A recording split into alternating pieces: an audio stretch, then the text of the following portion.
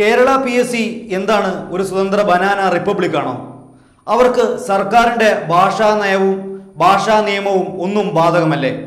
അല്ലെങ്കിൽ പിന്നെ എന്താണ് ഏറ്റവും ഒടുവിൽ എൽ പി യു പി പരീക്ഷ അധ്യാപക പരിശീലനത്തിന് പോലും അവർ മലയാളത്തെ പടിക്കുപുറത്ത് നിർത്തുന്നത്? പ്രശസ്ത എഴുത്തുകാരൻ എൻ എസ് മാധവൻ സമൂഹ മാധ്യമങ്ങളിൽ പങ്കുവച്ച സംശയമാണ് ഇത്. കേരളത്തിലെ പൊതുവിദ്യാലയങ്ങളിൽ എൽ പി യു പി ക്ലാസുകളിൽ പഠിപ്പിക്കാനുള്ള അധ്യാപകരെ തിരഞ്ഞെടുക്കാൻ കേരള പബ്ലിക് സർവീസ് കമ്മീഷൻ നടത്തുന്ന എഴുത്തു പരീക്ഷയുടെ സിലബസിൽ നിന്ന് മാതൃഭാഷ ഒരു വിഷയമെന്ന നിലയിൽ വർഷങ്ങളായി ഒഴിവാക്കപ്പെട്ടിരിക്കുകയാണ്. മാതൃഭാഷയുടെ ഔദ്യോഗികവും അക്കാദമികവുമായ നിലനിൽപ്പിന് തന്നെ ദൂരവ്യാപക പ്രത്യാഘാതം ഉണ്ടാക്കുന്ന ഈ നിലപാട് അക്കാദമിക ഔദ്യോഗിക മേഖലകളിൽ നിന്ന് മാതൃഭാഷയെ പടിയടച്ച് പിണ്ടം വെക്കാനുള്ള കാലങ്ങളായി തുടരുന്ന ശ്രമങ്ങളുടെ ഭാഗമായേ മനസ്സിലാക്കാൻ കഴിയൂ. നമ്മുടെ പ്രൈമറി ക്ലാസ്സുകളിലെ പഠനം കരിക്കുലം എന്നത് സംബന്ധിച്ച പ്രാഥമിക ധാരണയെങ്കിലും ഉള്ളവരാണോ ഈ സിലബസ് തയ്യാറാക്കുന്നത് എന്നതാണ് അത്ഭുതകരം. ഇത്ര ഉദാസീനവും അലംഭാവപൂർണവും ആയാണോ കുഞ്ഞുങ്ങളുടെ വിദ്യാഭ്യാസം കരുപിടിപ്പിക്കാനുള്ള പ്രക്രിയയിൽ പി എസ് സിയെ പോലുള്ള ഒരു സ്ഥാപനം ഇടപെടുന്നത് എന്നത് സത്യത്തിൽ പേടിപ്പിക്കുന്നത് തന്നെയാണ്. ലോവർ പ്രൈമറി ക്ലാസ്സുകളിൽ പൊതുവിൽ ഇന്റഗ്രേറ്റഡ് വിഷയ സമീപനം ആണ് കൈക്കൊണ്ടിട്ടുള്ളത്. ഒന്ന് രണ്ട് ക്ലാസ്സുകളിൽ ഓരോ വിഷയത്തിനും പ്രത്യേകം പുസ്തകം പോലുമില്ല. മാതൃഭാഷയിലൂന്നിയാണ് പരിസര പഠനവും ഗണിത പഠനവും പോലും. മൂന്ന് നാല് ക്ലാസ്സുകളിൽ വ്യത്യസ്ത പുസ്തകങ്ങളുണ്ടെങ്കിലും എവിടെയും പ്രാധാന്യം മാതൃഭാഷാ പഠനത്തിന് തന്നെയാണ്. അഞ്ചാം തരം മുതൽ അടിസ്ഥാന പാഠാവലി കേരള പാഠാവലി എന്നിങ്ങനെ ഭാഷയുടെയും സാഹിത്യത്തിന്റെയും വിശാലമായ ലോകമാണ് കുഞ്ഞുങ്ങളെ പരിചയപ്പെടുത്താനുള്ളത്.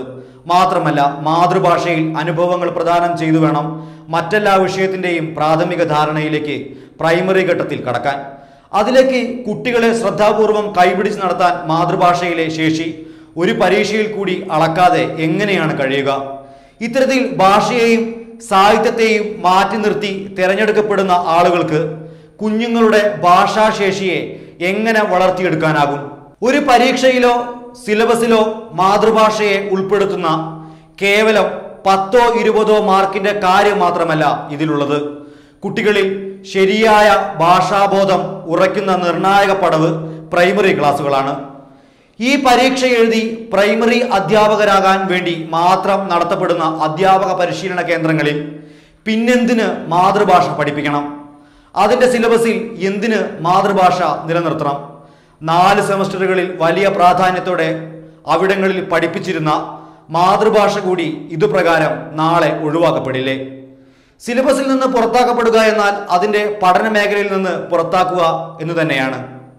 മാതൃഭാഷ എഴുതാനും വായിക്കാനും മാത്രം അറിഞ്ഞാൽ മതിയെന്നും അത് വെച്ച് കുഞ്ഞുങ്ങളുടെ ഭാഷാശേഷി വികസനത്തിന് ആവശ്യമായ കാര്യങ്ങളെല്ലാം ചെയ്യാൻ ഒരാൾക്ക് കഴിയുമെന്നും പി എസ് സി തീരുമാനിക്കുന്നത് ഏത് ശാസ്ത്രീയ ബോധത്തിന്റെ അടിസ്ഥാനത്തിലാണ്?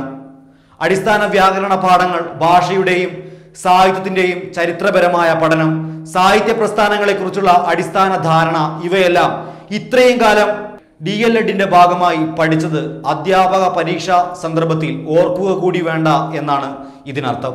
കേട്ടറ്റിൽ അടക്കം മാതൃഭാഷ പ്രാധാന്യത്തോടെ ഉൾപ്പെടുത്തിയിട്ടുള്ളപ്പോഴാണ് പി എസ് സിയുടെ ഈ നടപടി. പ്രധാന വ്യാകരണ നിയമങ്ങൾ ഭാഷയുടെ തനിമയുടെ ഭാഗമായ പഴഞ്ചൊല്ലുകളും ശൈലികളും തെറ്റും ശരിയുമായ ഭാഷാ പ്രയോഗങ്ങൾ മുതലായവയെല്ലാം ഇനി മുതൽ പഠനത്തിന്റെയും പരീക്ഷയുടെയും ഭാഗമല്ലാതാവുമ്പോൾ. എന്തായിരിക്കും നാളെ മാതൃഭാഷയുടെ അവസ്ഥ എന്ന് വിവേചനശേഷിയുള്ളവർക്ക് അമ്പരക്കാതിരിക്കാൻ കഴിയില്ല.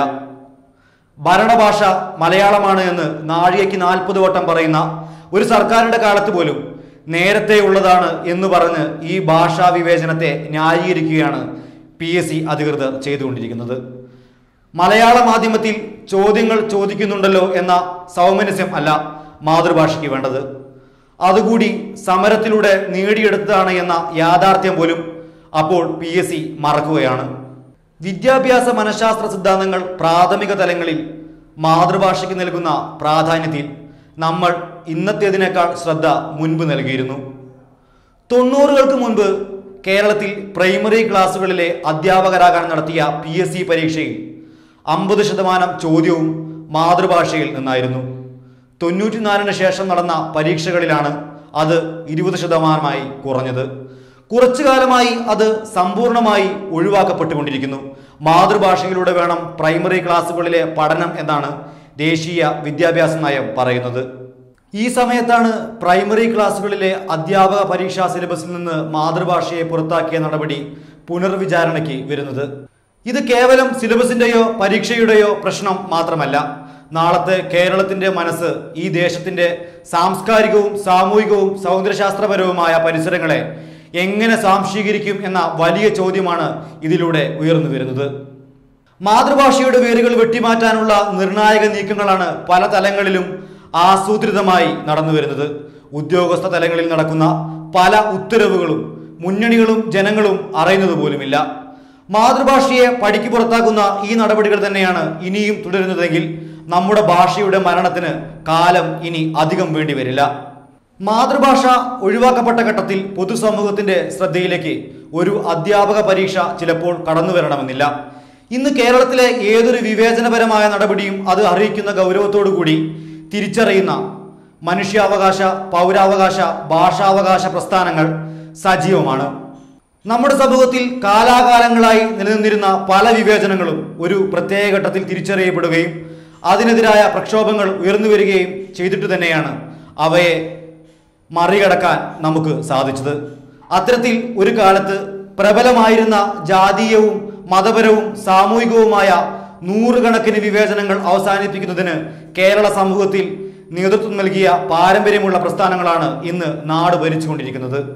ഏത് ഘട്ടത്തിലായാലും അതൊരു വിവേചനമാണ്.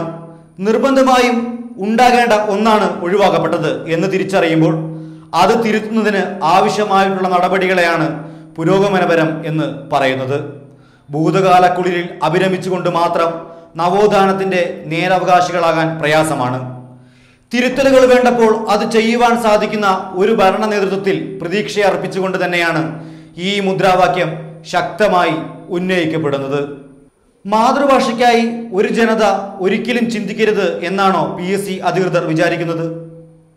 ഈ സർക്കാരോ ഇപ്പോഴുള്ള പി എസ് സിയോ അല്ല എൽ പി യു പി പരീക്ഷകളിൽ നിന്നും മലയാളത്തെ മാറ്റി നിർത്തിയത്. മറിച്ച് നിർബന്ധമായും ഈ പരീക്ഷയിൽ ഉൾപ്പെടേണ്ട മാതൃഭാഷയെ ആരുടെയോ എന്തൊക്കെയോ നിക്ഷിപ്ത താല്പര്യങ്ങൾ സാധിക്കാനായി മാത്രം ഏറ്റവും നിർണായകമായ ഒരു പരീക്ഷയിൽ ഒഴിവാക്കിയ നടപടിയെ തിരുത്താൻ യാഥാർത്ഥ്യത്തെ നേർക്കുനേർ അഭിമുഖീകരിക്കാൻ മടിയില്ലാത്ത ഒരു സർക്കാർ തയ്യാറാകണം എന്നാണ് ഇപ്പോഴത്തെ വാദം.